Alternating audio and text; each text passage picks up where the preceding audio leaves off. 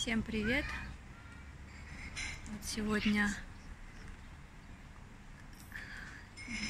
11 мая и зацветает скумпия.